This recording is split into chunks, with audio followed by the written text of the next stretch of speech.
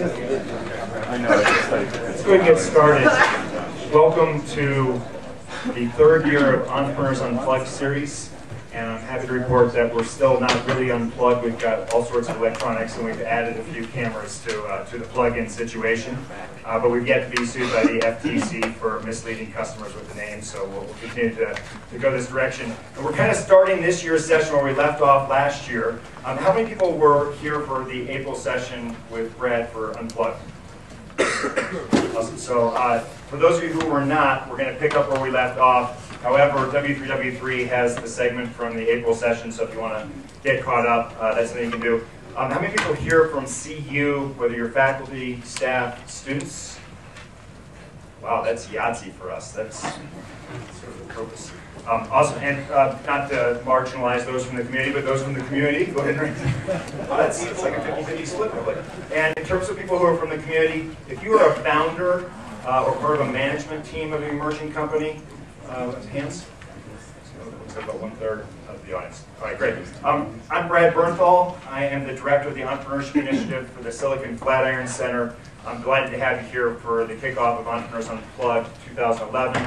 Uh, this is Jill VanMatre. She is the associate director here at the at Atlas, and um, I just want to say that Jill and Atlas have been an amazing partner on this really from the start. And uh, in terms of someone who's really helping build the entrepreneurial infrastructure here, if you don't know what Atlas does, I encourage you to follow up with Jill and learn a little bit more about what their options, and then we'll uh, get started. So first, um, why lean practices work, how to scale them. Zach uh, from CTO of Rally will be doing a, uh, a discussion that's September 20th at 6 p.m. Second is on September 23rd, we've got a conference on innovation at the Silicon Flatiron Center. Uh, Michael Senator Bennet and Qualcomm founder Irwin Jacobs will be among the keynote speakers there. And third preview uh, in terms of coming attractions is our Entrepreneurs Unplugged session for October. It's going to be Paul Gearan, who is the CEO of Reevit. Um, for tonight, this series has turned out to be a terrific success. In fact, I think Dan Caruso is here. Dan was our first guest for Entrepreneurs Unplugged uh, when we launched the series. Uh, in terms of format, for those of you who are new to this, it is fairly straightforward. This is modeled similar to the Actors Studio. We'll have 50 or 60 minutes of Q&A with Jill and I, and in the last 15, 20 minutes, we'll open it up to the audience. Um, as I said, we're starting, in some respects, where we left off in April. Um, and in the April Unplugged event, for those of you who were here, I thought it was just really going well, that Brad was just doing terrific, you know, in terms of providing insight. And then I looked up, and we're almost at a time, and you weren't, I don't think, quite at puberty in terms of telling your story. I stop talking like this. a colossal mismanagement of time on, on my part, not, not Jill's. Um, but it was really a happy Maybe I just can't shut up. uh, and so uh, in terms of uh, happy accidents, it worked out great. Brad kindly agreed to come back and do a second session. And here we are. We'll be picking up by and large um, with Brad moving from his role as entrepreneur into the venture capital world, and we'll go from there. Um, since Brad was here in April, a couple things that I want to quickly plug and give Brad a, comment, a chance to comment on if he wants. First of all, released a book, Venture Deals, with his partner, Jason Mendelson. Best question gets a signed copy tonight. And I get, I get to define what best question is. uh, debuted as a video star, which some of you saw out there. Uh, and also, tomorrow night, Techstars premieres on Bloomberg TV. One quick word about that? Yeah, so Bloomberg um, videoed the entire Techstars New York program, our first program there. Um, they have done a documentary. People can hear me okay? It's loud to me, but I just want to make sure it's not too loud. Um, they, they did a, what's essentially a documentary, six, six episodes, 30 minutes each, the, the sixth one, or maybe the seventh one, I can't remember where they're going to end, is actually going to be a live episode uh, in mid-October in New York that I'll be a big part of. Um, it tracks all the teams through the program, it focuses on about a half a dozen of them.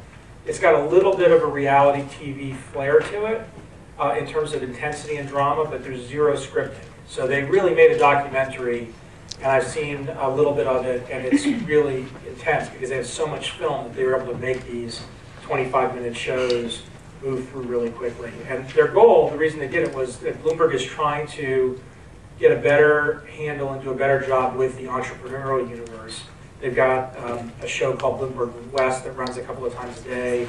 That's very focused on the West Coast. And um, it, it was really interesting to do and really fun to do. So, you know, tomorrow night we're having a big uh, sort of opening event, and then I think right after to, to premiere it, and then afterwards they're doing uh, a reverse job fair where the companies pitch uh, people in the audience uh, what they're doing as they're looking, you know, to hire lots of folks. And then there'll be parties. So if, if you're looking for nerds tomorrow night, there'll be plenty of That's like any night in Boulder. Oh wait, yeah. All right, so uh, in terms of where, let's start with your transition from entrepreneur to becoming a venture capitalist, and especially the time with what's going to be the Mobius Fund. Um, I think you started in 1996 or thereabouts. By 1999, you guys raised 630 million. 2000, you raised a 1.25 billion dollar fund. Talk about your transition to Mobius, and especially how that sets up how you arranged the Foundry Fund um, afterwards. Sure. So um, as as Mobius evolved, and just for those of you that didn't hear that story the last time, um, SoftBank Venture Capital was a fund that I founded with three other people in 1990. We, we raised our first fund in 1997, founded in 96, but raised our first fund in 1997. Over time, um, we changed the name of that firm from SoftBank Venture Capital to Mobius Venture Capital, I believe in 2000 or 2001. I think it was 2001.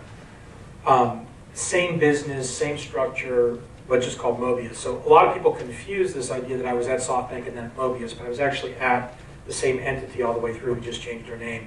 We, we had the name SoftBank because our initial sponsor was a Japanese company called SoftBank Corporation, which was an early investor in Yahoo. And interestingly, just recently sold um, uh, the rest of their Yahoo shares, almost all. I think they still own like a 10% of Yahoo. They're a very large early investor.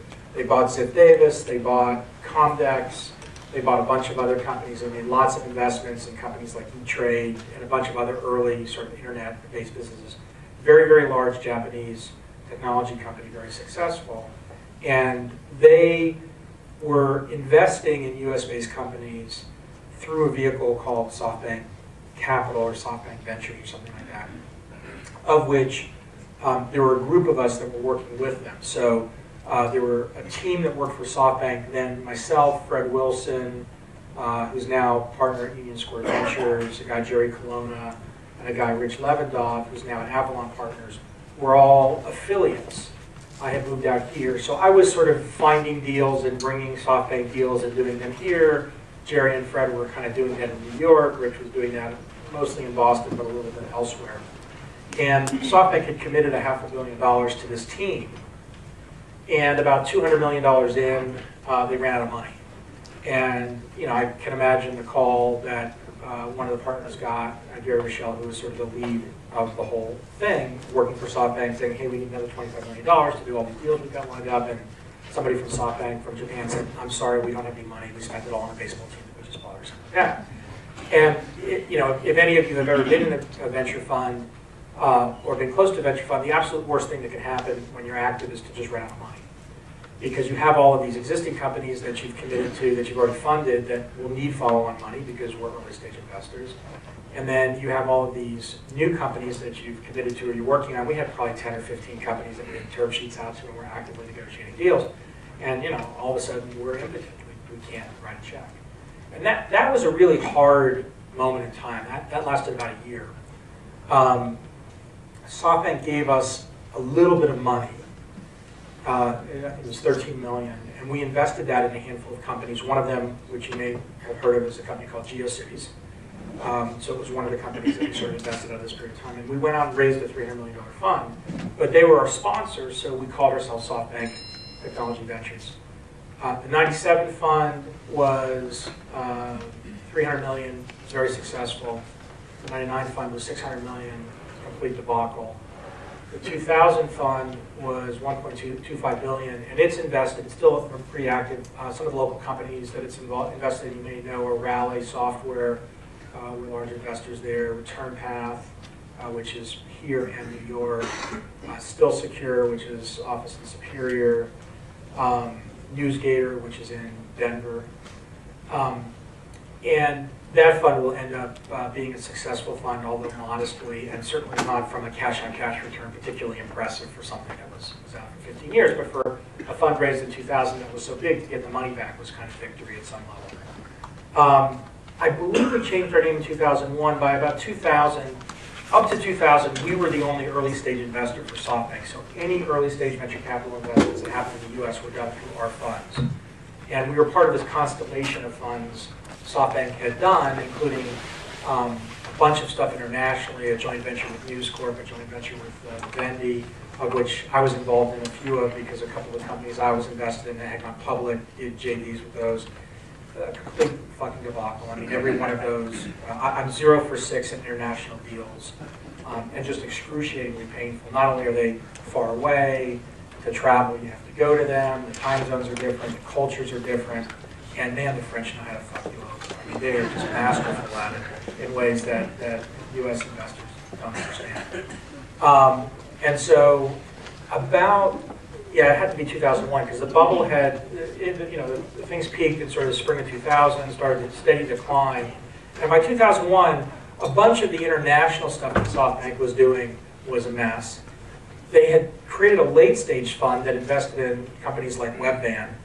And we were, and Kozmo was another one, we were constantly sort of in this, um, you know, well, you guys are the idiots that invested in Webvan. We're like, no, no, we've got a lot of other stupid deals, but that one's SoftBank. oh, wait, we're SoftBank. I understand the confusion. And, you know, for a while, it was very beneficial to be affiliated with SoftBank. And at this moment in time, it was very confusing. And we just bit the bullet and said, look, we're a separate thing, we're on the thing, let's change our name. And that's what became Mobius. Um, it was a very, very difficult time around 2001 because in 97, 98, 98 market was very hot. The startup market was very hot. Um, we had, you know, sort of huge, very fast velocity in terms of the companies. Performance was very strong. And our investing velocity fast. We invested, um, we're investing in about a company a week. So, you know, over the course of a year, we would do maybe not 50 investments, but 30 or 40 investments over 12, they're new investments, not, you know, obviously all existing investments. So by, and, and we kept raising these larger and larger funds, but we continued to invest in very early stage companies. So we had lots and lots and lots of companies, which when everything was going great was no big deal. But when things reversed in the, you know, started reversing or peaked in the spring of 2000, started reversing throughout the summer, by the fall of 2000, you know, everything was in decline. Um, by the beginning of 2001, you know, it was it was pretty messy. By the time 9/11 came, you know, 9/11, while you know was a seminal event in terms of, you know, uh, sort of broader dynamics, in my mental model was kind of the capitulation moment for the internet bubble. So it was kind of like you're getting the shit beat out of you, and then 9/11 happens. And they're, they're disconnected events. Obviously, one's not a technology business event, one's a tragic human event. But it was kind of this thing where you sort of sat back and said, what the fuck is going on here? What am I doing? What matters? How am I spending my time? How am I sorting through all of this?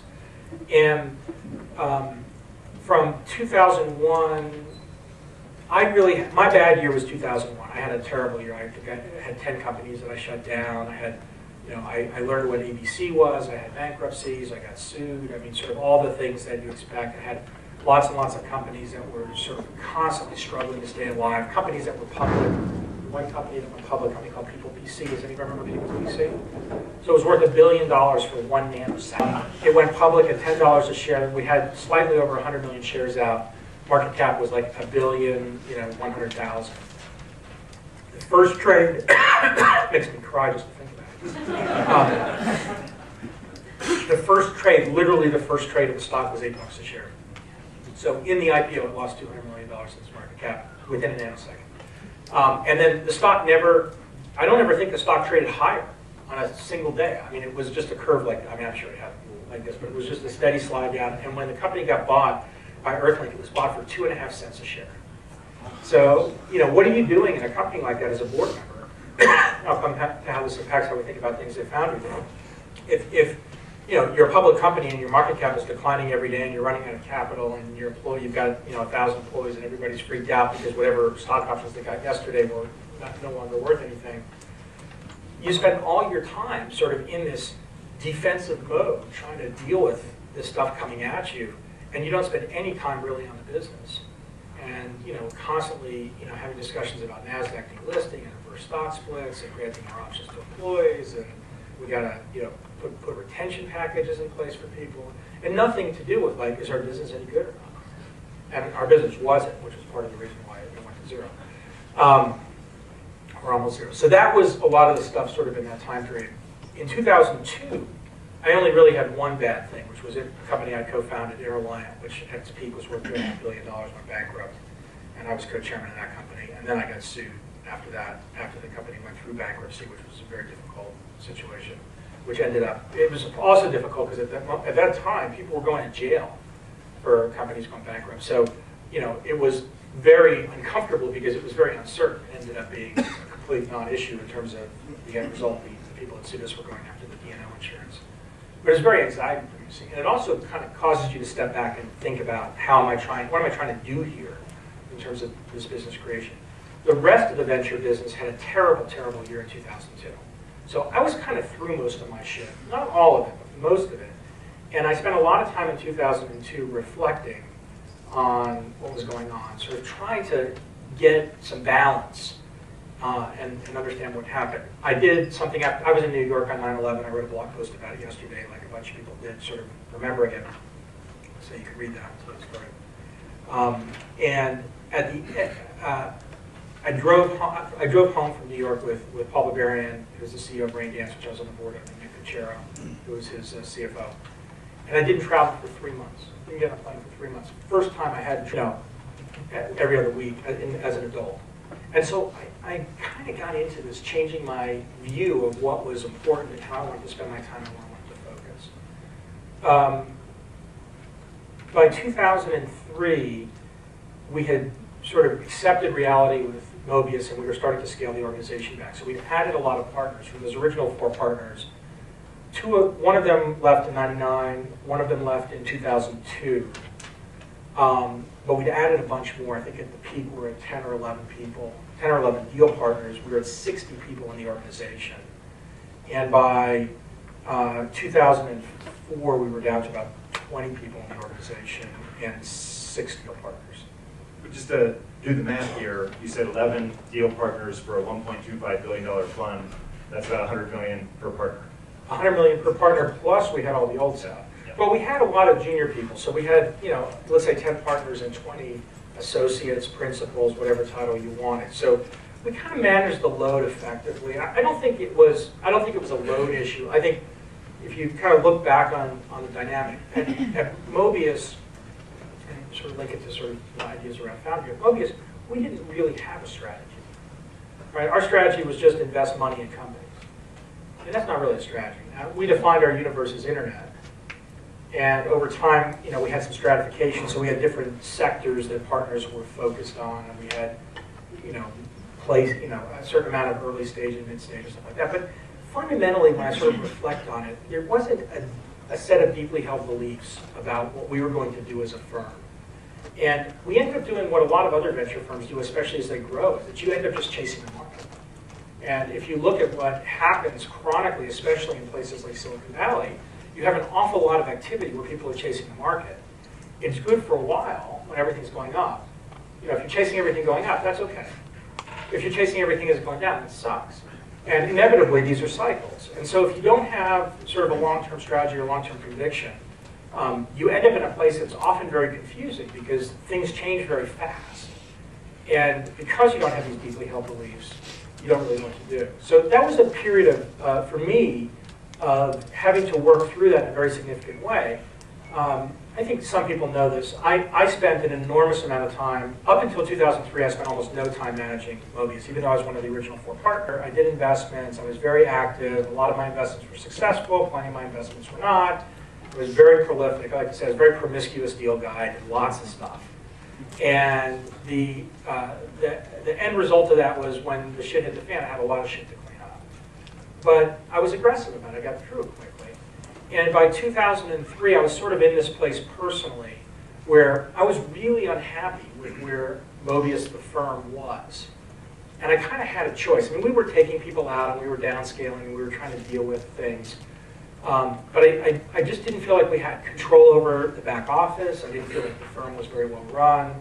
Um, I didn't feel like we were doing a good job sort of internally. I don't like being the operating guy. Um, I was perfectly happy doing my own deals, but I had a- really a choice, which was, do I just punch out and leave? Or, and just go do something else? Or do I stay? And if I stay, I can't just sit passively by and watch this shit go on. I've got to actually engage in it. And it might, I might make it worse, I don't want to make it better, but I've at least got to put myself into it. And so what ended up, sorry, what ended up happening was um, I got very involved in 2003. By 2004, you know, I was effectively running the back office part of our organization with Jason Mendelson, who's, who's my partner now. He was our CFO, or uh, COO, sorry. He was our general counsel, and essentially went from being our general counsel to being COO effective, running the back office, and then started doing deals. I took care of all of that with Jason. Eventually, he sort of took over that, and I started paying a lot more attention to the part of our firm. Venture funds typically raise a new fund on a three or four-year basis. So for those of you that don't know how venture funds work, we got a $1.25 billion commitment in 2000 from our investors. That didn't mean 1.25 billion went in our bank account. That meant we had a whole bunch of investors who said, we will give you, whenever you ask us, the percentage we owe of whatever you ask. And you draw that money down over a 10 to 12 year period. You commit it over a five year period. So for five years, you can make new investments in companies. And from year six forward, you're outside your commitment period, so you can invest in existing companies that you've already invested in, follow-on rounds, et cetera, but you can't make new investments. So most venture funds raise a new fund every three or four years, so they constantly have fresh capital in a new fund to invest in new companies, and then they use the old fund to continue to follow on the old companies. Um, if a venture fund has not raised a fund by year six, it's out of the. And really, most, not all, but most venture funds that don't have a refresh by the sixth year are effectively out of business. They're out of business five years later because they still have all these companies, they still have the committed capital, they still have some fees to run their business, although those fees are typically declining. But there was a reason why they weren't able to raise another fund, usually performance, LP dynamics, partner dynamics, whatever. And we were in this place in 2005 where we had to decide whether we were going to raise another fund or not uh, as Mobius. We didn't really have to decide in 2000, until 2006 because it's not such a bad thing if you're out of the market for six or nine months, and that was kind of a dicey time anyway. In uh, early in 2006, in February, we got together, the remaining partners. The other co-founder, Gary, had decided to move to China and started a fund there. So essentially, I was the only remaining founder. It was a California-based firm. Had a small team here, but everybody else was in California. And everybody had joined either in that was left joined in 1999 or 2000. So everybody joined sort of at the the peak of the bubble. So the track record of the remaining partners was not uh, generous. It was not very strong.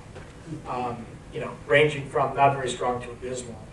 And, and then there was then there was effectively my track record, which was very good on an aggregate with plenty of you know big holes in the ground, but that's that's mentioned.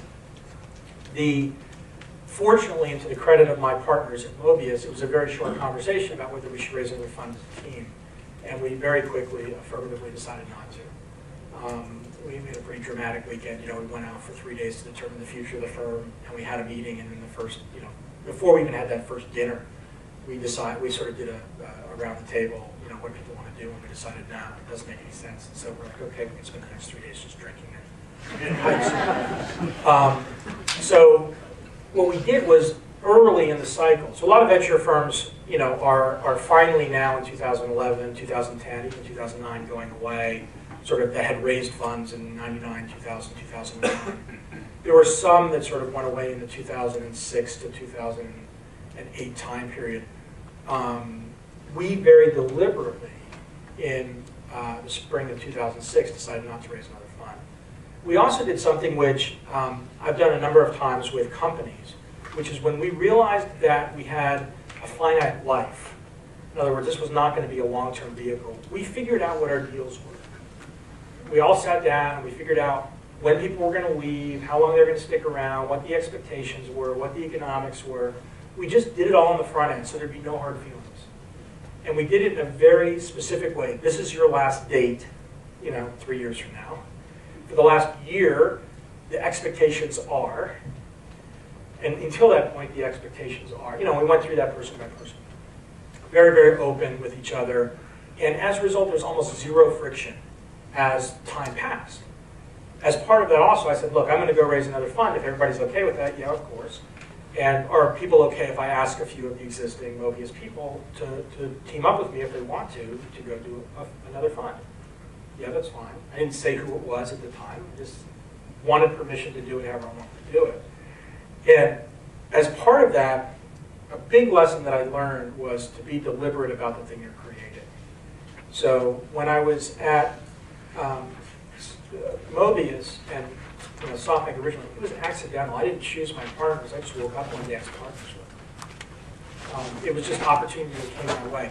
They, they were good people. They weren't bad people. But when I look at it, I wasn't deliberate about it. And when I look at sort of how it played out, I sort of just ended up in this place. Um, with Foundry, uh, I think my partners have been, and I, and I have been very deliberate about how we approach things. When I think about David Cohen and Techstars and how he's built Techstars, he's been very deliberate, sort of about each step of it. And when I think about some of the best entrepreneurs I've worked with, there's tons of chaos, so don't misinterpret deliberate for orderly and calm. That's not what I mean.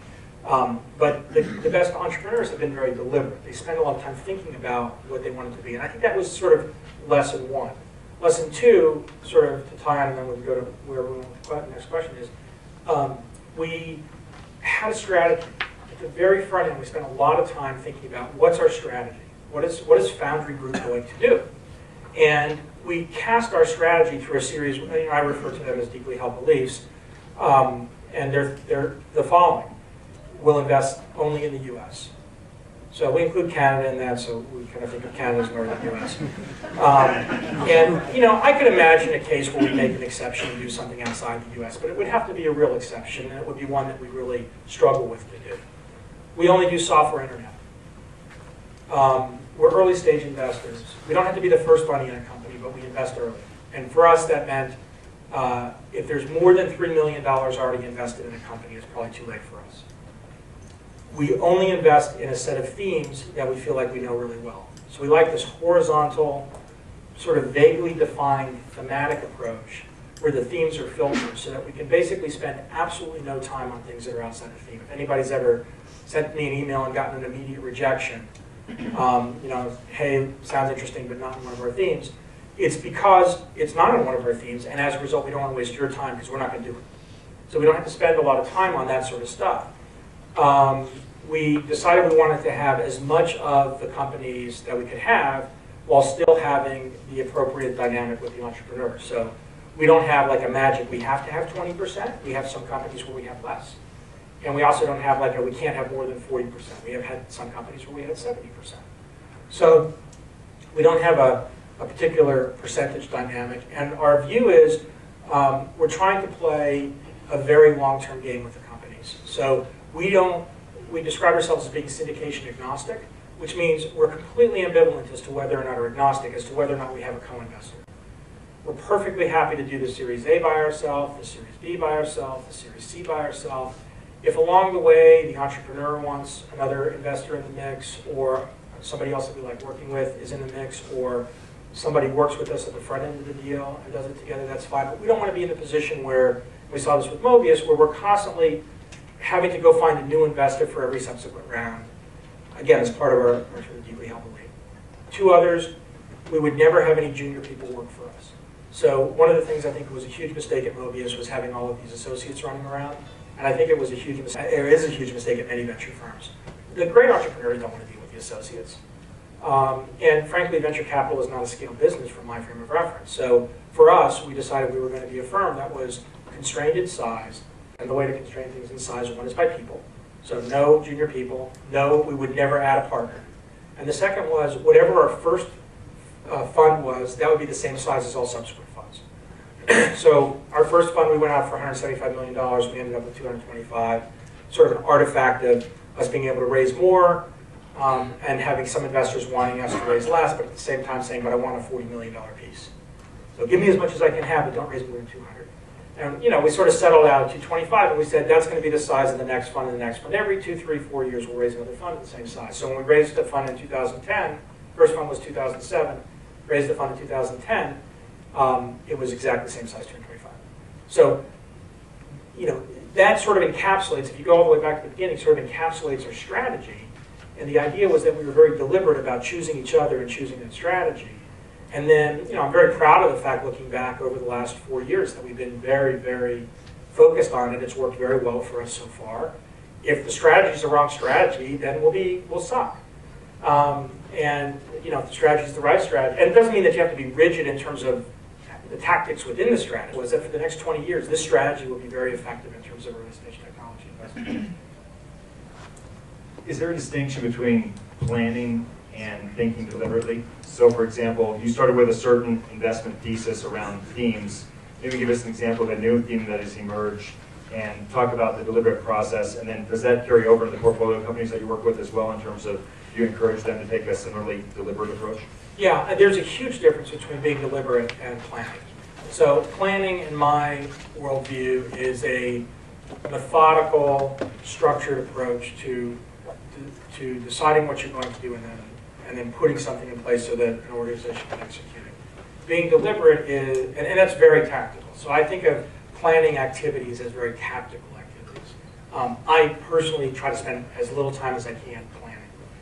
Um, uh, being deliberate, I view as a much more strategic activity, where you're, you spend time on the front end of something, thinking about what the frame is, thinking about what box it's going to be in, what the parameters around it are going to be, and how you're going to then execute it. And then you execute it uh, recognizing that there's going to be lots of modifications along the way. For uh, a venture fund, I think planning is anathema. I think it's very, very hard to plan because there's so much exogenous activity that you have to be able to be reflexive about. You have to pay attention to what's going on in the world. It changes constantly. You're dealing with allocations that are not easily fixed or measurable in some time frame. In a company, planning is actually a critical part if you're trying to scale a business because you have lots of people in the organization that you need to go do stuff. And if it's not clear over a, a rhythm of you know, daily, weekly, monthly, quarterly, annually, what people are trying to do. It's very hard as you get down. You know, a couple of people might be able to handle handle it without that, but as you get further down the organization, it's very hard. However, I think the leaders of an organization have to be incredibly deliberate, and so the especially the CEOs. So the CEOs, I think that are the best, understand the importance of planning, build a team that will execute a plan, and then the CEOs spend some amount of their time paying attention to that uh, and just providing oversight, but not a lot of time in the implementation of it. And instead spend their time forward-facing, supporting the implementation of it, as well as thinking broadly and more deliberately about what has to happen to the business. Make sense? Okay. Uh, I want to talk about a different line of deliberate choices that you've made, and that is the extent to which you invest your time and energy in social media and in really getting your ideas out there. And so you have blogs, you have books, you do things like this. I, I read that you're now Skyping into conferences to give keynote addresses. And in thinking about that, it's clear what other people get out of that. It's clear what potential entrepreneurs could get out of Ask the VC. But I wonder why it's worth it to you. So th there's um, a very specific driver that I have for almost everything I do. Certainly everything I do in the context of business. Most of what I do in life, but not all of it. Um, and I described it in a post I wrote about intrinsic versus extrinsic motivation. And, and to answer the question, I have to define the difference.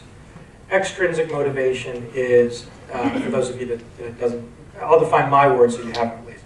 Extrinsic motivation uh, are people who are motivated by external forces. Hey, Brad, you look good today. You know, hey, Jill, that was a great question. And Jill gets a little dopamine jolt. Oh, good, that was a great question. Brad liked my question. Or, um, you know, you get your, your picture in the newspaper, uh, you know, for something good. Uh, that's, that's uh, that, that's external, um, or explicit. Implicit motivation is something internal, something that drives you otherwise. And for me, that's learning. And I, on a spectrum of one to 10, I'm not a one, but I'm pretty close. I'm maybe a two or three. I- I'm flattered by the public positive stuff, but I don't really give a shit about it. Um, I don't actually care if you guys like this or not. Um, I'm having fun. Right? So if, if, if you're uninterested, that's fine. I like to listen to myself talk for an hour. That's good. Um, my implicit driver is learning. And so if I walk out of here and I don't learn at least one thing tonight, this will have been a failure. Now, I expect I'll learn one thing from a question somebody asked, um, from a nuance in terms of something. I often learn when I'm describing or talking about things. Part of why I do a lot of writing is that that's one of the ways that I learn, but I actually learn by, by speaking. You don't necessarily integrate it in real time, but when you reflect, you're like, wow, that was an interesting idea that I hadn't thought about before. Um, as part of that, um, I believe and I derive enormous amount of implicit uh, and intrinsic satisfaction. And the word, I should be careful with the words so I don't mix them all up, but intrinsic satisfaction from, um, from teaching and from exposing information that was previously uh, opaque or difficult to get at. And I was an entrepreneur in the 1980s and early 1990s, and it, I was an angel investor, you know, in 94 to 96. I've been a venture investor since. It's always been a complete utter mystery to me why so much of the information around creating companies was so mysterious. And if you look at what you have to do today to create a successful company, look what you had to do 30 years ago, many of the things are exactly the same. There's lots of things that change because the environment that we're operating in changed, but many of the underlying things are unchanged.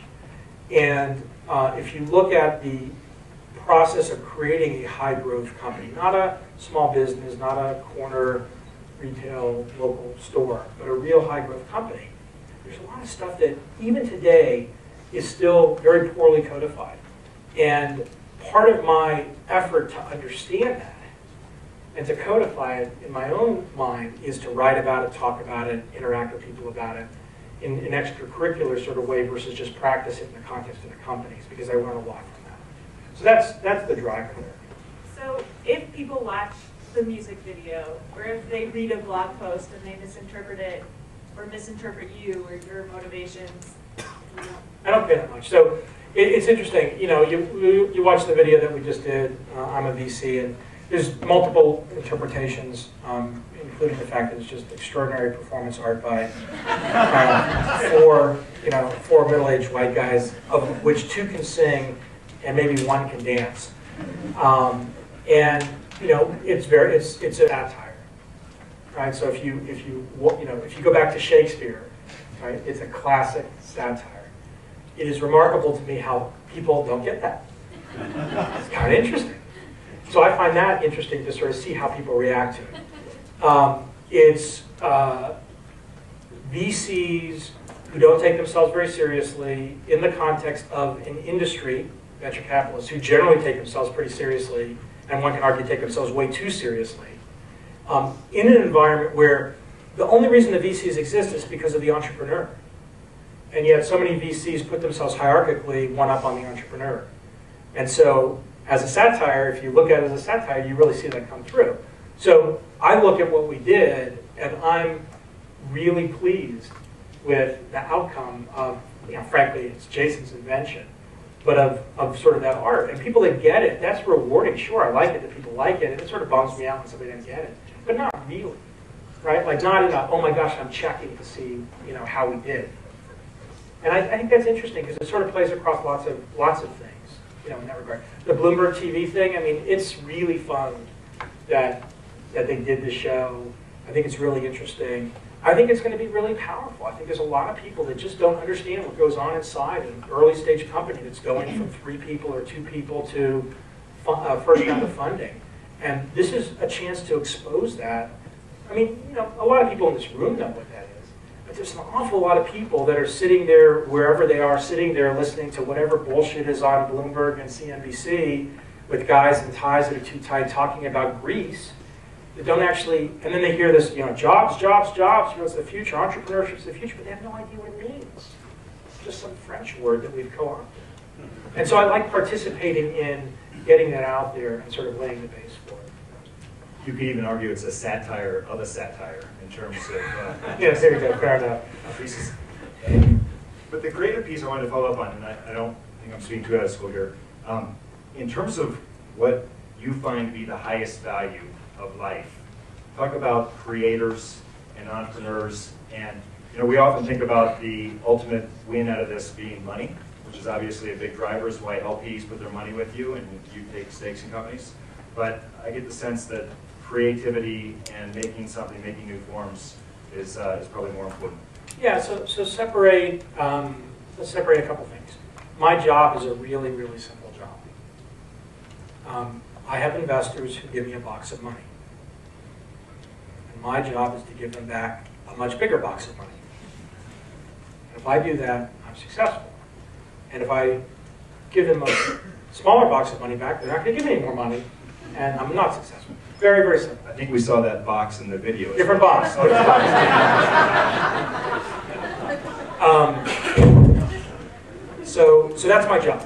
Now separate what drives me from my job. So I'm fortunate in one regard, which is, um, you know, I, I'm of the category of self-made. Um, my, my dad is a doctor, my mom's an artist. We had, you know, plenty of money growing up, so I didn't have, you know, had a, a typical middle class, what I say, typical middle class Jewish uh, upbringing, um, where education and learning was a very, very high value. Um, I, my parents paid for undergraduate college, and that's all they ever paid for. So even when I was in high school, I was making more money than I knew what to do with. And then in college, when I was a freshman and sophomore, I got paid royalties on software that I wrote. And my, I don't remember what the number was, but let's say my freshman year I made thirty or forty thousand dollars, and my sophomore year I made eighty or ninety thousand dollars of royalties. So I had all this, you know, at that moment in time, all this extra money that, you know, never put me in a position where I felt like I needed to accumulate money to accomplish what I was doing. So that's never, and that's continued. So, and you know, some of that's a function of success. It's not predictable. It's not because of earning power and salaries and stuff like that. It's because I've invested in things and some things have worked. And as my wife and me likes to say, box, a box of money fell out of the sky. And then, you know, there will be periods of time where there are no boxes of money. And then another box of money falls out of the sky. So, but that's, that's separable from what's interesting to do. And I've always, um, I've always lived life very intensely um, in whatever I do. Some of it's an obsessive personality, some of it's the way I'm wired, some of it's probably my parents' influence on me, and some of it's just what I like. Um, and probably at some point along the way, um, and I, I wasn't very old. I was I was in my 20s when I had this thought, uh, which was that there's only one way to affirmatively determine the moment at which your life ends. And people aren't always successful when they try to kill themselves. But there's really only one way. And so it's completely uncertain when the lights go out. And if it's uncertain when the lights go out, the idea of trying to segment the time and break it into pieces where you do a certain thing for 10 years or 20 years and then you know you defer your travel around the world experience until after you've retired, well, you might not get to that. You hear those tragic stories all the time. And so, relatively young in my adult life, I decided that there was no real way to separate work and life. And that I was just simply going to try my hardest every day at getting the most out of the experience of life that I could, whatever that meant at the time. Now, I haven't always done that well. Um, I've gone through phases where, uh, you know, I got divorced when I was in my uh, uh, early 20s. Um, I'm fortunate that I hooked up with a woman, Amy, that I've now been together with for 20 years. A phenomenal relationship. Our relationship almost ended uh, when I was when I was 35. Um, in about 2000, during this time period that was really chaotic. I mean, she was done with me and and uh, me spending 110 hours a week on work, and all she got, she referred to it as the dregs. You know, I'd come home on the weekend, I'd sleep all weekend, and then I'd gear up to leave again. And you know, every now and then we'd have sex, and that just wasn't enough. Um, but you know, it was a dynamic where you know I wasn't, uh, I didn't have the sense of what was important in the context of living my life. And I'm 45 now. That's the drive. I, I want to do things, I don't, I don't have to have fun every moment. I have lots of moments that are not fun. I have plenty of down cycles. I have plenty of frustrations. Uh, I have plenty of moments of deep darkness where I go hide under a table in a corner of my house somewhere. Um, and, you know, I have lots of things that I have to deal with that are shitty. But that's part of the experience of life. But I don't defer the other stuff during that.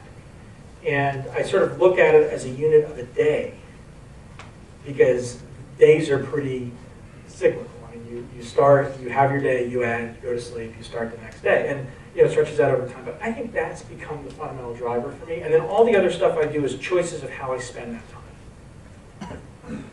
So, a different part of that work-life balance is the sort of public-private balance. And that's one thing that struck me as I watch you swimming in Italy or That's, France. David, that's David's fault. That Um, and running and know where you were in July, where you were in August, which things you like doing, which things you like reading. How do you draw that line? So it, it- it's very interesting how it evolves. So when I, I, I was not particularly public before I started blogging in like 2004. Um, I wasn't private, but I, you know, I wasn't like, uh, uh, you know, I did talks like this and stuff like that, but I didn't, I didn't go out of my way to attract attention. Um, in 2004, I started blogging, and my motivation for blogging was twofold. One is I wanted to really understand the technologies. Look, I scared. Have a good dinner. Thanks for coming. Um, anybody else gets bored. Um, the uh, uh, I always do that. People misinterpret But you don't care. I don't think. Um, thanks for reminding me. The um, uh, I wanted to understand the technology. So user-generated content was starting to emerge. Um, I was very interested in RSS, which was a protocol that was underlying blogging. And I've always been a product guy, so I like to play with the technologies. And you know, there's, plenty of software that's hard to play with, it's technical, but, but I still like to play with the technologies, even if it's hard to play with. And this was relatively accessible. So that was thing one. As I started understanding the pieces, I also wanted to understand what the experience of being a blogger was.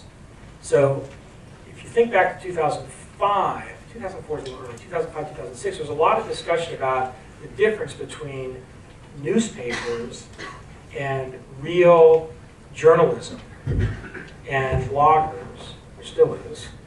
Um?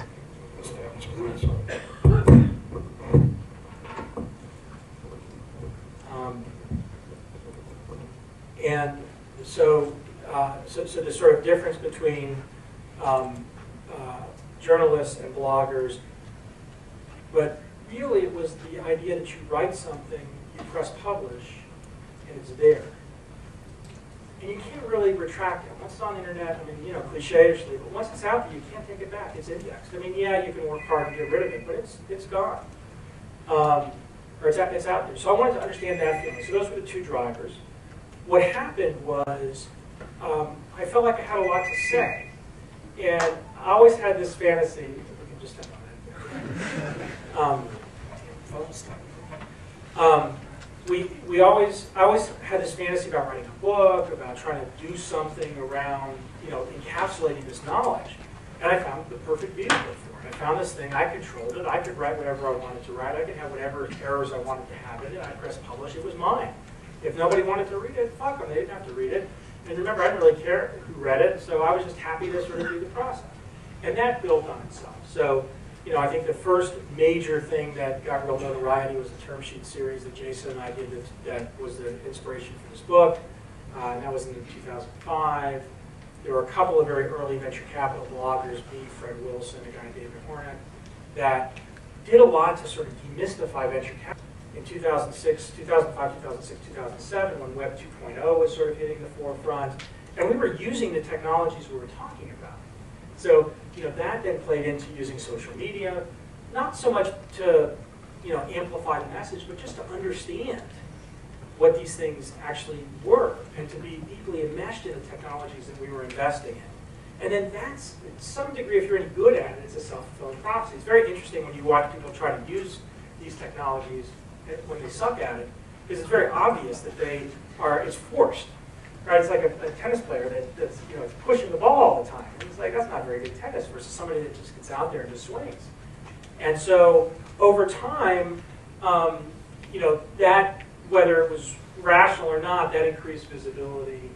Um, and I have always had a governor, a governor problem, like in a car. Like I, I, I, I red line and then I crash, and I have to like, right? I mean, it, it doesn't, it doesn't sort of, I don't sort of back off and modulate it very well. Um, and this was a good case of that, which is, you know, at some point I'm like, okay, yeah, I'll answer anybody's request for an interview. And then at some point you realize all you're doing is interviewing, so interviews, so you got to figure out how to actually make that little box of money turn into a bigger box of money and get that right. But that's, I think that's part of the challenge of integrating all of these different pieces. So that's really, you know, how it got, how it got started. So I actually went back, and your first blog entry, I think, was May 7, 2004. Um, And in the respondents, Cecilia Feld responds, is it blog or brag? Either way, you have a nice writing style. Remember to write about your mother. That's exactly what my mother would write, right? Like, you know, dear, dear son, don't let your head get too big. And oh, by the way, yeah, you, you write okay, but don't forget to talk about me. Perfect. Um, One thing that you wrote, I wanted to follow up on this in terms of where you see technology going. So as of 2005, you said that, quote, "The biggest thing that I've become obsessed with lately is how stupid my computer is." Question, do you still see computers as stupid? And more importantly, where do you see things going the next three to five years in terms of technology? Yeah, so they're still stupid, but they're less stupid. Um, it's, it's been, uh, and there's lots of different things that have changed that. Some has been sort of a natural evolution of hardware and software. See, just sheer amount of capability of the network infrastructure um, and availability of the network infrastructure. Some of it has been UI dynamics in terms of being easier, but there's also flip, flip balances the other day. How many people here have a, a, a phone that's an iPhone or an Android phone that you type on? And how many of you walk down the street like this?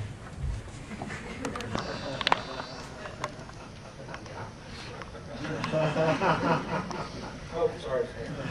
I mean, do you think in 20 years you're going to be doing that? We better not be. Right? So, so the idea that the technology is still in this form that is not, um, you know, comfortably encapsulated uh, is, is a challenge. The idea, though, that we could, even in, in 2005, do a YouTube video of that quality, you know, Jason's basement with zero professional help. I mean, you, you see how far this is coming. Or, for example, I was watching today, uh, instead of instead of making my small box of money bigger, um, I was watching the U.S. Open all afternoon on my computer. Until Brad, well, it wasn't over when I, was um, And then when I was driving over here in my car, I was watching the U.S. Open on my phone while I was driving my car. Um, but don't tell anyone. And uh, I mean, that's, that's, that's real progress, but at the same time, think of all of those moments where you're like, somebody sends you an email to schedule something, and it doesn't just happen, right? And the number of emails back and forth still, I mean, that, the group scheduling problem is still not solved, or the 19th email that you got, that you just want it to go away, you don't ever want to hear about somebody's bunny rabbit anymore, right? So there's still, uh, there's still an awful lot that can improve, but it's pretty significantly better than it was in 2005. All right, so one more question, we'll, we'll open it up. You asked me, you asked me what's gonna happen in Yeah. the next three to five years. So I don't, I don't wanna talk about the next three or five years, I wanna talk about the next twenty years. So I believe the machines have already taken over. I believe the machines are really patient. So they know that they can just hang out for a thousand years, and we're just gonna enter all of human information into them. And that's what we're doing. And if you think about the evolution of this, in a, in a pragmatic way, 20 years from now, I don't know whether we will call them biological computers or computer-enhanced humans. But the idea that there's a bridge between humans and computers in a very deep, intertwined way uh, is something I believe very deeply in. And part of the reason I'm so motivated to, to work on the companies and invest in the companies that we're involved in is I want to be, you know, I want to make sure I get enough back doors in that.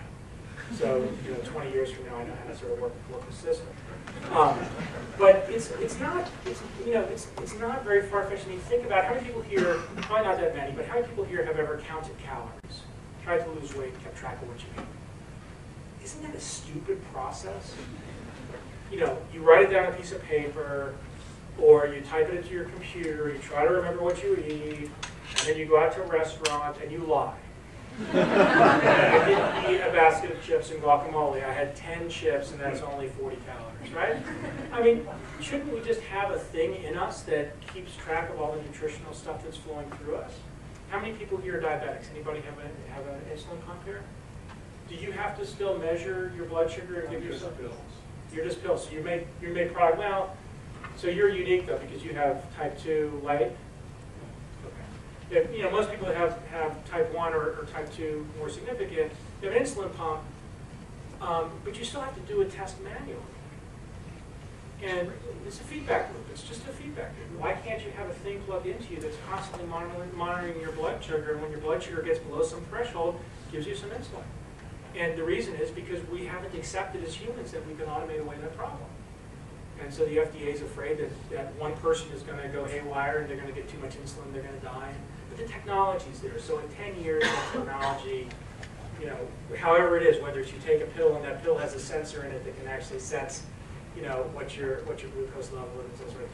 whole swaths of, of our automation dynamics will be like that. And uh, it's pretty cool. All right, last question, we'll open up um, for audience questions. Uh, The Zynga story.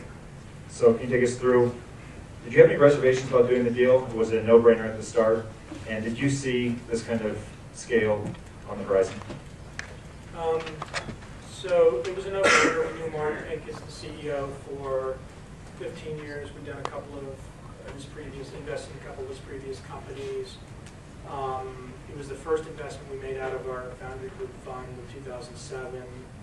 Uh, the decision cycle was Matt incredibly passionate about what he was doing. Um, you know, had a big vision for it. Uh, and we got on Mark, and we bet on the big vision because we were comfortable with the idea, you know, that the big vision had potential. Did I have any expectation that it would turn into what it turned into? No way. Um, you know, I think we were optimistic and hopeful that it would be a significant company. I think it's, it's, it surpassed anyone's rational expectations. Um, and, uh, you know, there have been moments in time where, you know, you just sort of sit back and go, holy shit, this is incredible. Um, you realize that every year there's probably one or two companies that gets created like that. And, you know, in a career of an investor, having one of those, you know, every decade, it's awesome. Having one of those in your whole career as an investor, is still awesome. Um, but if you think about it, you really are, it's very hard to like pick those. And so um, the lessons that I personally have gotten from being involved in this company from the beginning um, are, are pretty significant and really shaped a lot of my thinking. Um, the biggest is uh, the reinforcement that the entrepreneur drives the business. Um, Mark had an incredible desire to be a very significant company. And he wanted inputs from everybody, and he wanted constant help, but he wanted to drive the. And I think many investors try to control the entrepreneur, restraints around the entrepreneur, they try to put some structure around the system. Um, the entrepreneurs who understand how to work with investors and work with the scales of business, but are just going to fucking run through the wall no matter what. And the as an investor, recognizing my job isn't to control them. My job is to do whatever I can to help them. I had that philosophy, but this just drove it home in spades. Um, and it's, it's, it's been great experience. All right, we have a Silicon Flatiron tradition. First question to a student. Best question gets a book. Pressure. What is their opinion on that? Sure. So I can't talk about Zynga specifically because they're in registration, so the comments are generic, okay? Um, My, my, my general view is that uh, it's highly entertaining that uh, everybody wants to talk about whether we're in a bubble or not in a bubble. Um, And the dynamics of what's going on in terms of fundamental companies that are creating value um, and businesses that are building long-term sustainable businesses are very, very significant and very compelling. The valuations at any moment in time of those businesses, it's hard to predict what, whether those valuations at any moment in time are right or not. And if you look back at the thing everybody's referring to, which is what happened in 2000 uh, and, and sort of with the peak in, in, in 2000. The bubble was driven partly by technology, by, by startup companies. It was also driven by very large technology companies that were dramatically overvalued. And the amount of capital that was in those companies relative to their long-term performance was way out of whack with where they were valued. And um, I'm not a student of the public markets, I don't pay that much attention to the public markets, but I remember companies like Cisco being worth, uh, Dan, you might remember, four hundred billion dollars or something like that. What was level three worth in two thousand? Fifty, um, How much? hundred fifty billion? Hundred fifty billion? Yeah, how much is it worth now? Like seven dollars? Eight dollars, six billion? eight billion. 47 cents and change, right? I mean, you had this incredible dynamic that's not in the market today. So are individual companies overvalued at any moment in time? Could be. The market will tell you over a long period of time. You have such a massive inflation of value uh, of, of what people are willing to pay for these assets that we're in this cataclysmic moment that's going to burst. Will stupid companies go public? Will companies get bought for too much money? Will people make bad decisions? Of course, but that's human beings. I mean, we're gonna do that's, that's gonna happen forever. But I, I mean, some, I mean, some people have said that that uh, overestimation is driven by uh, venture capital investment. Uh, I mean, do you agree with that? No.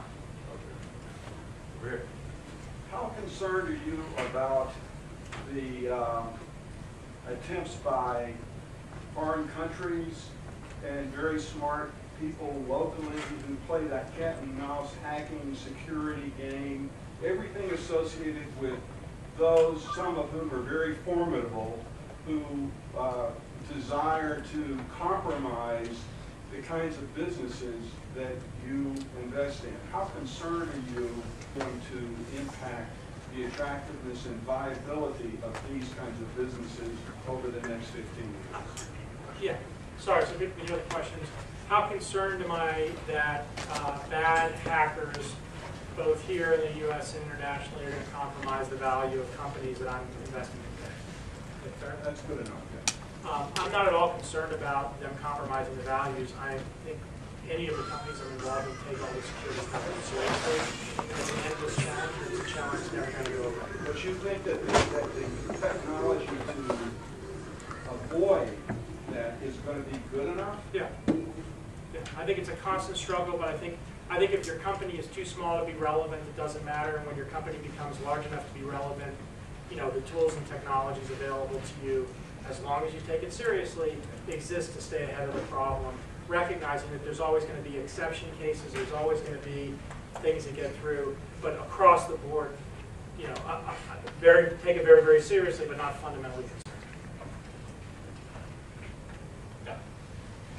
I'm Brian. I'm Camilo Lopez, founder of Influential Force, and my question is uh, for Foundry Group, you early stage investors, how do you find early stage? Two guys with an idea or, or uh, two guys with a product that already has adoption by customers? At what stage are you more likely to invest? Either. Seriously. No, no. Yeah, but like for example, for Mark, uh, right? Like you already had a history with him, so if he had an idea, you're like, okay, I can invest with him. You know, but when we invested, he had already, he had already built, uh, Texas stuff happening. So Sheinbaum's in the room. Uh, Pete started a company, uh, called Mandelbrot, um, which makes, uh, he announced it makes, still makes bread, Jewish bread. Um, you know, when, when Pete had an idea, the original idea that Pete had, what the business is doing today is, uh, has, has, you know, roots of that, but has evolved. But it was just an idea, and it was, you know, Pete and another guy that we really thought highly of.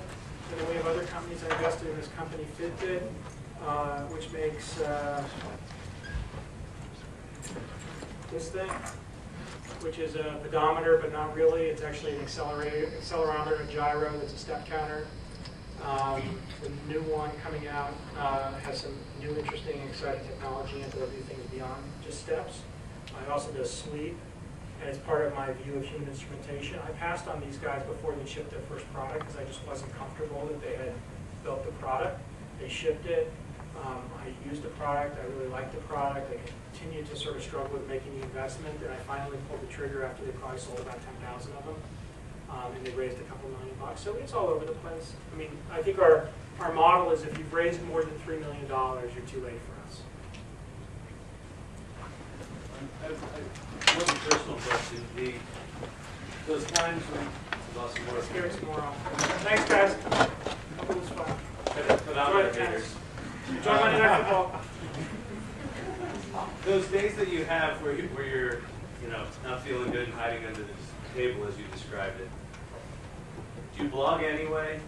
And if you do blog anyway, I mean, is it fake it till you make it? I mean, if you're just feeling horrible, how do you sit there and say, okay, here's the shiny new bit of news? Or what- Yeah. what's your philosophy so on if you, if you read my blogs, you'll see, you'll see negative stuff in my blogs. I'm not always a cheerful, uh, cheerful Joe.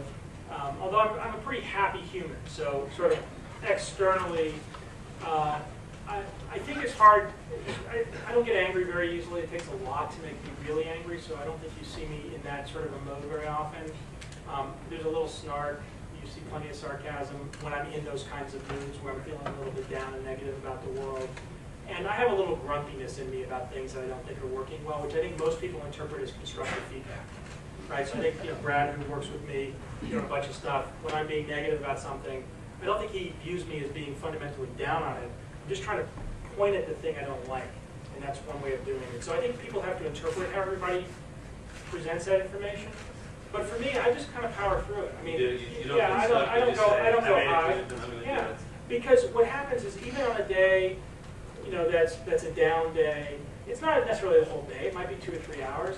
I, I run marathons, I know that I'm gonna run a marathon on Saturday in, uh, in uh, Bismarck, North Dakota. Um, because I'm running a marathon every state, you gotta do one in North Dakota, right? So I that I said, what, what's the best restaurant in Bismarck, North Dakota? The first thing that came back was the airport restaurant. I got a serious email from somebody saying there was a big boy in Bismarck, North Dakota. And they listed the things on the menu that were really good. That's great. I should bring my because they probably have those in Dakota. Um, and uh, so I'm going to run this marathon on Saturday. You know, two days after marathon, most marathons are on Sunday. Two days after marathon, I'm always depressed. I always have a credible emotional low that usually doesn't go away until the third or fourth day. So I know that I'm going to be not in great form on Monday and probably not in great form on Tuesday when I'm back here. I look at my schedule for those two days, they're completely blocked. I mean, they're full days. So I kind of, you know, I kind of know that going in. My assistant knows that going in, and I can kind of calibrate how I spend my energy against it. Right. So some, so it's not, it's not just oh I wake up and I'm in a shitty mood. Right. It's that sometimes it's the rhythms of these. Amy and I came back from a month in Tuscany, and last week sucked. Last week was a hard week. It was incredibly busy. Sort of, you know, first week back, right? It was just. It started on Tuesday, so it was a short week anyway. Um, every day was a full, you know, five o'clock in the morning till, you know, nine or ten night kind of day. I was tired. I went to Colorado Springs Thursday night. It's been all day Friday, Thursday night at a, dinner, and then all day Friday, Colorado Springs talking entrepreneurs. Got back late Friday night. Didn't a bad week. I was in a bad mood all weekend. It was all reentry. So Amy, instead of getting all annoyed with me because I was in a bad mood, even though we had our own little flare-ups over the weekend, we both knew we were re-entering and we were going to sort of be in a bad place. And so I think as a as a person, understanding those dynamics about yourself comes back to the question that Jill asked. If you have perspective on how you are, then you can still work through those moments and be pretty functional. Um, more questions. So, uh, a Techstars graduate recently told me that an entrepreneur can't have a serious relationship because the startup is their wife and mistress. What are your thoughts on this? And if it's not true, how do you make peace between the two? Yeah. So, so I, I don't think it's true. Um, and in fact, if you look at a lot of the Techstars uh, uh, founders, they have a serious relationship. And in fact, some of the, this year, two of the Techstars founders were married had a kid, young kid too, like, uh, under two. I, I don't know kid, I don't understand kids very well. I'm scared of them until they're about 15. And, and so I don't, I can't look at one and say how old it is. unless it's- I try to avoid them, germs. Um, I- you- that's the book, that's the question that gets the book, I like that question. Um, The, uh, the thing that I think is so important is that when you're early in your entrepreneurial arc, it's extremely hard to figure out how to balance your work, yourself, and a relationship. And yourself is an important part of that, right? And Dan can attest to this. You can't be a successful entrepreneur over a long period of time unless you have time for you. Because as a leader of a company, there's a whole bunch of people counting on you.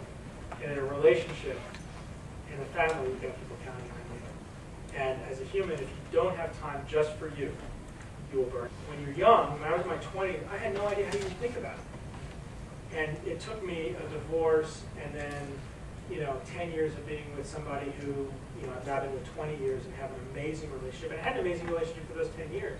But to almost break that relationship too, to get to the point where I said, I have to figure this out for me. And so my mid-30s, I stepped back and with Amy's help, figured it out for me in a way that works. And for me, it was very rule-based. Right, so I've written about this a lot, it's in Do More Faster, but I'll give you a sense of it. When, when Amy and I's relationship almost blew up, it was over a weekend, we were on vacation. Um, we were with friends in Rhode Island, and I was working and working all the way down with her, and then we were at her friend's house, and I was on the phone while we were at her friend's house, and then we went out to dinner, and in 30 minutes of dinner, I took a phone call.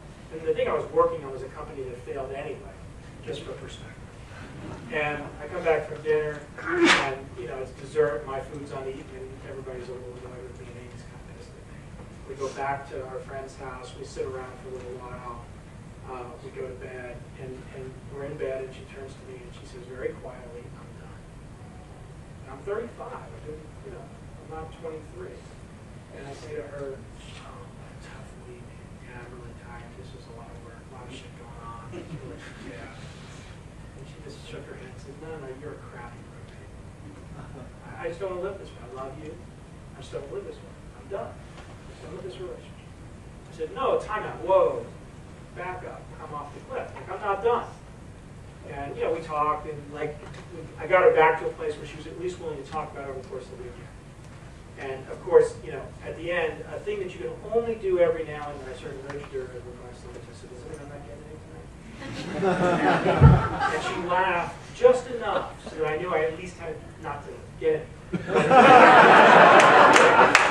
a chance that, you know, we'd be able to have a real conversation about it the next day. We spent the whole weekend talking, I, I, the next morning I gave her my phone, I said, look, let's just talk through this, let's, let me understand this, give me one more chance.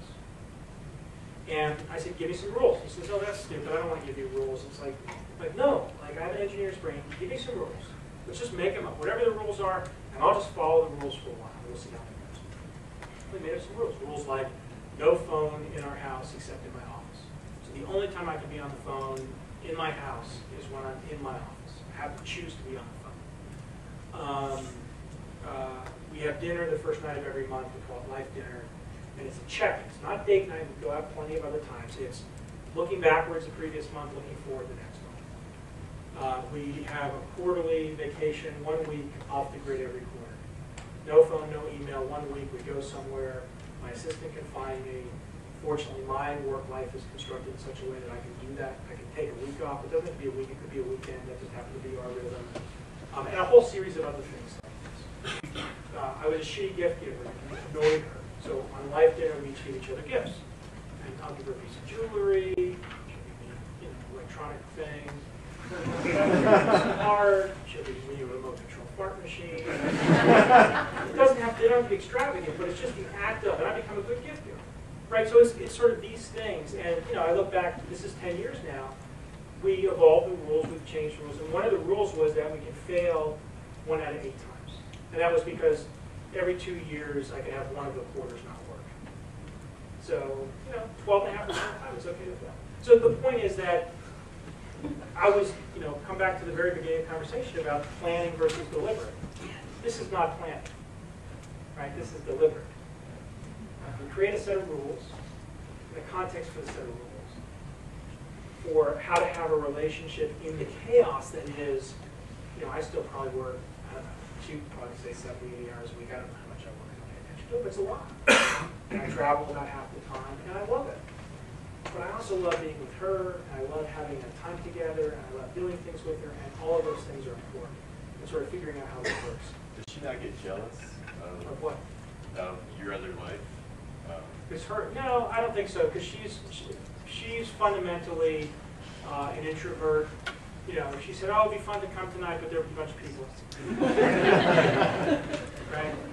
So, so, um, no, she's, I mean, is she, is she jealous that other people get my time? Sure. There are definitely moments where, you know, she wants more of it and wants me to trade off my time with you with her, or my time working on this with her. But that's okay. I mean, you know, that balances out. There's plenty of time that she spends doing things that I wish that I didn't have to do. And I think that's the nature of it, right? In a relationship, you have to sort of let those things. Last question. Last 17, Um, you guys can email me questions. I'm in a entrepreneurial class at the moment, and Gotcha. we're, uh, Oh, nine. Almost killed that. Have we had anybody knocked out of one of these before? Or what was that? Go ahead. um, for our idea to work, we have to create an entrepreneurial, creative environment. And uh, I was wondering if, uh, how you could do that as a third-party perspective, third party on trying to create that creative. Also, I have another question. Um, you say you don't use um, partners, limited partners. Do you use interns? Right, So I'll take a swing at paraphrasing the question. So that it's a two-part question. Uh, The second part of which is the easy one, which is there's no analysts or junior members of the VC. Would you at all consider an intern at some point? The first question is the broader one. You're in a, uh, an entrepreneurship class, trying to think of a creative venture. How do you go about the process of starting on that?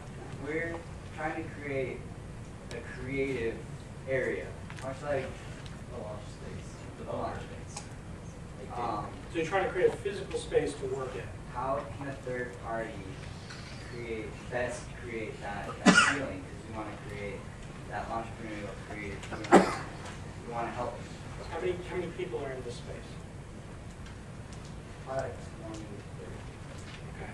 And, and so the whole class is trying to find a space like that that you can camp in and create an entrepreneurial context. And it feels like that as you're working on this class. Is that what I'm interpreting it right? We're, we're trying to create something that will brand is. Um, So it's an an incubator. incubator of sorts? Exactly. Well, why do you need the, why do you need the, the incubator space? Why do you need the space? We're going to charge people for it. Why are you going to charge for Because we, uh, we want to turn a profit. And I think we get a fundamental intrinsic, um, well-being if we actually incubate something that takes off and it's going to be amazing. And, and what are the companies that you're going to incubate? Are they We, other student-driven companies or are they companies from the community? Community, student, take into it.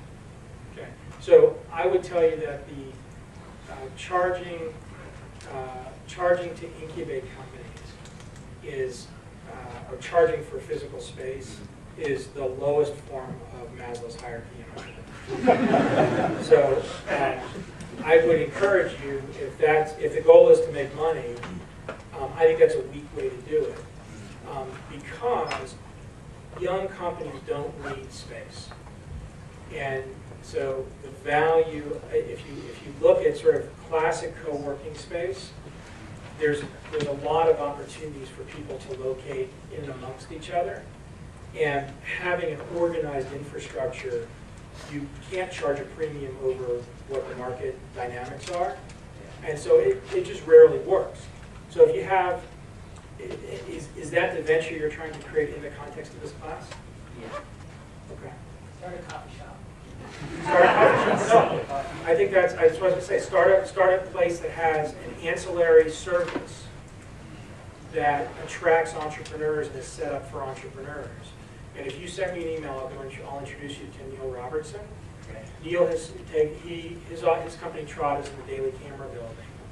And they took a bunch of the space in the Daily Camera Building, they weren't working, and I've already forgot what they called it, it's called Code Space. Oh, Code space. Code Space, yeah. And they, is anybody in Code Space here? Is it good? Yeah, it's very good. Yeah, so, you know, it's basically a space, it's free, It's free. right? So Maslow's hierarchy again. Um, And it's got free coffee even. Um, But, but the idea is that it's a place for people to hack together that haven't started. A GSoC. But, but send me a note, brad at because you should go as part of the class, go talk to Niel and understand that. You should talk to David Cohen and understand how he thinks about it too in the context of Techstars. Because at the minimum, you still may go do it, but those two, those two conversations will inform it. And the first, the other question was, uh, would we ever do interns? No. But um, lots of companies that we invest in do. And I think that, you know, if you want to have an entrepreneurial experience while you're a student, do, from my perspective, is aggressively get yourself involved in the Boulder entrepreneurial community. If you're a software developer, um, everybody wants hackers. If you're not a software developer, there's lots of other things to do, you know, around product, around support, around sales, around marketing. And all, you know, there's an enormous amount of growth in the Boulder software community right now. And that's a great place to be an intern because you get two things. One is you learn some specific stuff, but you also really get the context of a fast-growing company, and you get to hang out in Boulder for the summer. So, so and I can help if people are interested in that. You know, feel free to send me emails and I'll send them around. And For those of you who are at, here at CU, there's about 15 CEOs, 20 CEOs who are probably looking for you right now, so I encourage you to. Rusty needs like all of you, I heard. Brad, this has been fantastic. Many thank yous. A warm round of applause for Brad.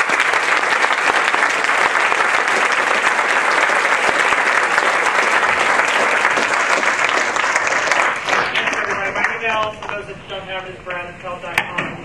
Feel free to email me if I can.